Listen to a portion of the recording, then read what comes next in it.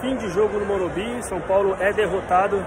para o Corinthians por 2 a 1 No jogo onde o São Paulo teve volume, primeiro tempo muita dificuldade para furar o bloqueio do Corinthians. O Corinthians em duas capadas, no segundo falha da defesa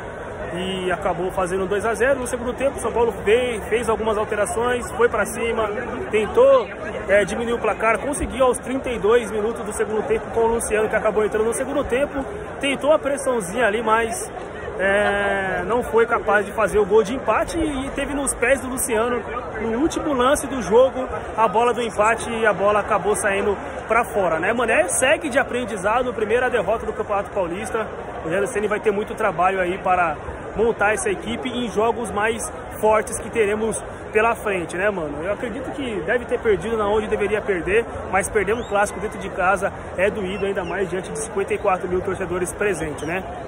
Segue de aprendizado